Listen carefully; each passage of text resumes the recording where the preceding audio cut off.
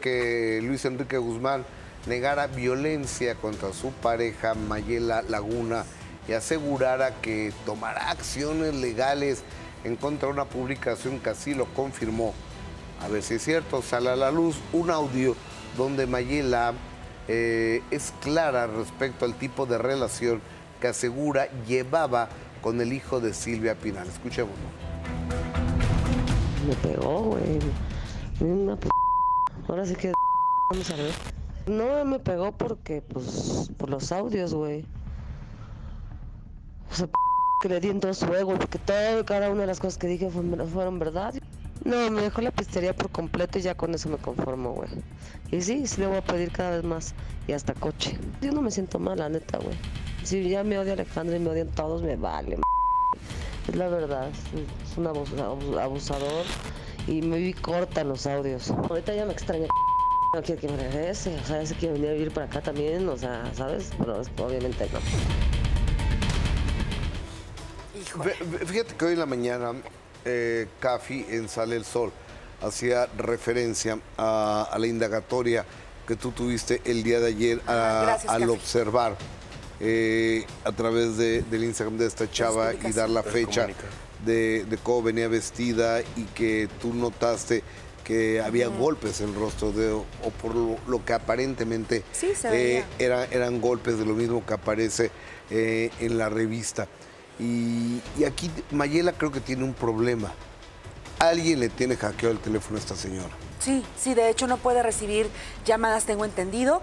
Yo creo que el problema más bien es la traición, ¿eh? Porque estos audios se los mandó a alguien, no han dado a conocer los audios que manda otras personas y ella misma habla de que la traicionaron, de que alguien la traicionó. Yo creo que, que el problema más allá de la traición Ah, es que está viviendo, evidentemente, por lo que hemos escuchado, visto, en una relación completamente tóxica, en una relación en la que muchas mujeres de repente, a pesar de vivir violencia, son codependientes y continuamente regresan. Pregunto yo por eso, ¿por qué mandan, por qué sube a sus redes un comunicado apoyando lo que decía Luis Enrique? Y después borrándolo y ahora con este audio ratificando. Te voy a decir por qué. Dígame. Porque tienen a su hijo. Y te digo otra cosa, yo creo que tiene miedo. Cuando una mujer es sometida durante muchos años, y pues, también eh, eh, en primera hay que olvidar que Luis Enrique vivió bajo un matriarcado durante toda su vida. O sea, entonces Luis Enrique tenía que ser muy respetuoso con las mujeres y al parecer no lo es. Y, punto número dos, yo siento que, que- que esta niña tiene mucho miedo. De, de- de- de- que puede tener alguna consecuencia de la familia Pinal, que es muy poderosa en el medio artístico en muchos lugares. Entonces yo creo que ella se siente sola y por eso es que no habla tanto o, o pone cosas, Puede le ser. da valor y se las quita, ¿sabes? En- entre las publicaciones que de Puede hecho ser. estábamos cotejando el día de ayer y encontramos algo que ella misma publicó, donde se le ve el pómulo evidentemente inflamado. Incluso en un acercamiento que hicimos, porque primeramente es un video, le tomamos fotografía, se ve que está esta situación de cuando ya se te está volviendo amarilla eh, La la, piel, huella de, la, de la agresión, no sé quién se la haya dado, se presume que es su pareja. Es, es algo llamativo que ella ponga una publicación, la quite, publique algo donde se ve evidenciada una agresión en su rostro. Muy probablemente ella está pidiendo de una u otra manera auxilio, pero pues estos audios ya dejan, dejan por la borda el comunicado que se dio a conocer el día de antier, porque pues ella misma está diciendo, que está diciendo que la golpearon, que la golpeó su pareja. Y bueno, tras la publicación de estos audios y las especulaciones en torno a la relación con Luis Enrique, Mayela decidió compartir este video el día de hoy. Hola, no sé exactamente a dónde ve en la cámara, nunca había hecho esto. Este es mi último recurso y lo pensé mucho en hacerlo. Hoy salieron otros audios míos donde estoy enojada y salgo hablando mal, no mal, sino salgo contando lo que, lo que pasó entre Luis Enrique y yo a una muy amiga que pensé que era mi amiga y me traicionó. Yo no conocía esa palabra de traición hasta ahora. Y este, lo único que puedo decir es que estaba yo muy, muy, muy enojada. Claro que cuando me salí de su casa hubo un enfrentamiento entre los dos muy fuerte, pero son cosas que se tienen que arreglar entre parejas. Las separaciones son muy duras, más cuando tienes hijos y ahora más cuando es público. Estamos él y yo llegando a acuerdos para poder estar bien y para poder cada quien tener el derecho de, de estar con, con nuestro hijo como se debe de ser. Ahorita está viviendo con él, pero sí estamos haciendo, ya por fin llegando a acuerdos, ¿no? Por el bien de él. Este. Claro que estoy nerviosa al hacer esto, no me gusta. Uy, a ver, A ver. ¿qué, qué, qué dice ella? Estamos llegando a acuerdos, el niño está con él. Cuando tienes el pose- la posesión del niño, tienes todo, desafortunadamente, y más si no hay un proceso y si no tiene ella un abogado, no Eso. tiene el amparo de la ley. Eso, es, eso precisamente, Gus, creo que es No lo primero que debería hacer.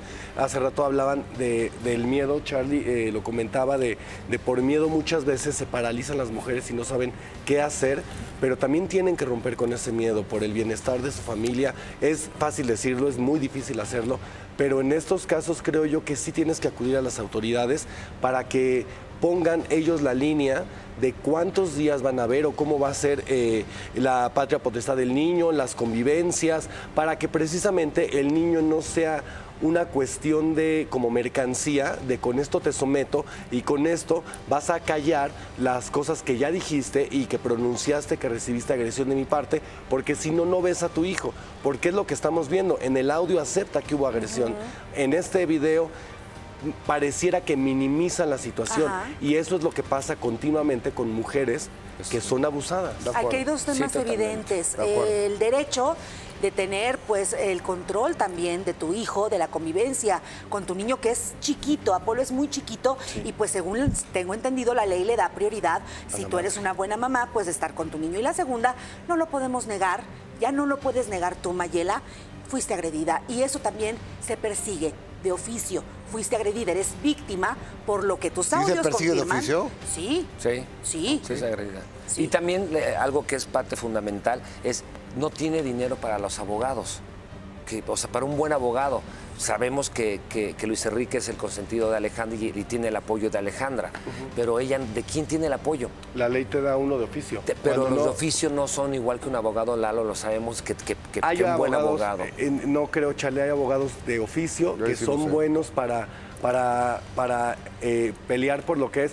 Y es que me imagino y quiero creer que en estos casos el dinero no es tan importante, que puede mover cosas sí, pero si te quedas en esa parte, nunca sales de ese, de ese círculo vicioso del miedo y tienes que romperlo. Y que el de abogado que te toque, Claro. con los recursos que tengas, una madre con las garras, agarra a sus crías, como bien dicen, y las protege. Y creo que eso es lo principal, proteger a su bebé y protegerse ella misma sin miedo a nada. Correcto. Y con la Yo, bendición. yo, yo, de- yo no la conozco a ella, una vez la vi aquí que vino con Luis Enrique, y a Luis Enrique pues tampoco lo conocemos nadie, Claro, o sea, claro.